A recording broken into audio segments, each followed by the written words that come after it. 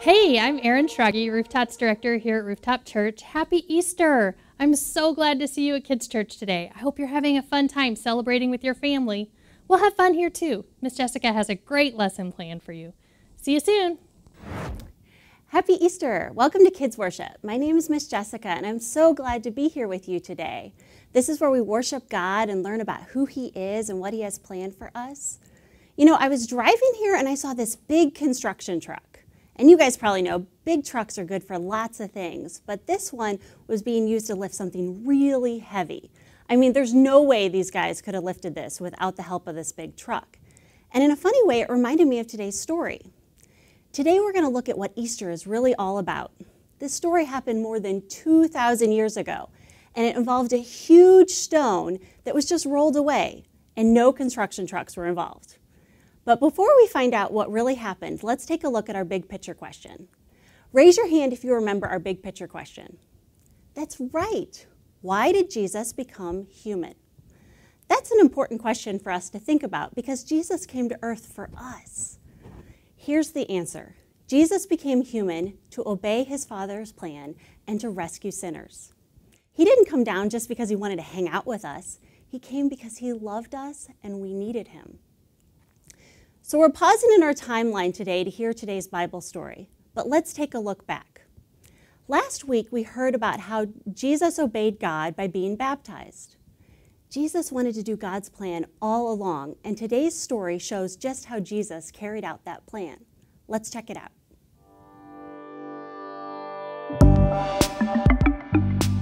After Jesus was arrested, he was led to the high priest. The religious leaders were trying to find a reason to kill Jesus, but they could not. The high priest asked, Are you the Messiah, the Son of God? Jesus replied, Yes, that's right. The high priest said, He has spoken against God. He deserves to die. The religious leaders refused to believe that Jesus was God's son. In the morning, the religious leaders led Jesus to Pilate, the governor. Are you the king of the Jews? Pilate asked. Yes, that's right, Jesus replied. What should I do with Jesus? Pilate asked the crowd. Crucify him, they answered. Pilate did not think Jesus had done anything wrong, but he handed Jesus over and said, Do whatever you want. The governor's soldiers put a scarlet robe on Jesus. They made a crown of thorns and put it on his head. Then they mocked him. Here is the king of the Jews. They beat Jesus and led him away to be killed. The soldiers nailed Jesus to a cross. They put a sign above his head that said, This is Jesus, the King of the Jews. Two criminals were crucified next to him. Darkness covered the land. Jesus cried out, My God, my God, why have you forsaken me? Jesus shouted again, and then he died. Suddenly, the curtain in the temple sanctuary split in two from top to bottom, and there was an earthquake. One of the men guarding Jesus' body said, This man really was God's son. Jesus was buried in a tomb. A stone was sealed in front of the tomb so that no one could steal Jesus' body. On the third day, Mary Magdalene and the other Mary went to the tomb. Suddenly, there was an earthquake. An angel of the Lord rolled back the stone and sat on it. The guards were so afraid that they fainted. The angel spoke to the woman Don't be afraid. I know you are looking for Jesus. He is not here. He has risen just like he said he would. The women left the tomb quickly.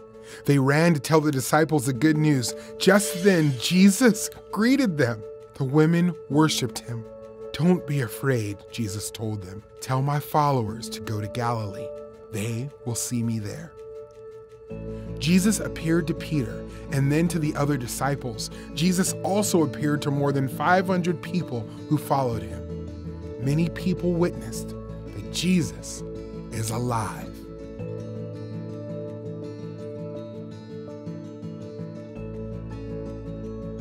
Jesus' death and resurrection is the center of the gospel. In Adam, we were spiritually dead in sin, but Jesus died to pay for our sins. Jesus is alive. God gives new life to everyone who trusts in Jesus. As we heard in the story, a very large stone was placed in front of the tomb where Jesus was buried, and it was sealed so no one could move it. And you know what? That big, immovable stone is kind of like our sin. No matter how hard we try to push it away, it is impossible for us to remove our sin all by ourselves. That's a big problem. Our sin separates us from God. And no matter how hard we try to do the right thing or be good, we can't get back to God on our own. So that's some bad news. But when sin entered the world, God did not leave his people on their own forever. He made a promise that he would send a Savior, his Son. And he did. He sent Jesus. Jesus never sinned, but he was arrested and crucified on a cross. When he died, he took the punishment that we deserved. But then something amazing happened. On the third day, he rose again. Mary Magdalene and the other Mary went to the tomb, but the angel told them that Jesus had risen from the dead. Jesus defeated sin and death. He's alive. And through him, God gives new life to anyone who trusts in him. So let's celebrate and share that good news. Thanks so much for joining us here today. Be sure to check out our Kids Church page on rooftop.org. Please join me now as I pray for us, and then we will sing one more song to praise our God together. Heavenly Father, I thank you so much for today, and I just thank you that we can gather here together in this way, no matter where we are, that we can remember how what great lengths you went to to save us because you love us. We thank you so much for Jesus that he came here and that he died just for us so that we could live forever with you. I just pray that as we all celebrate Easter with our families today, that we can remember how much you love us. It's in Jesus' name I pray. Amen.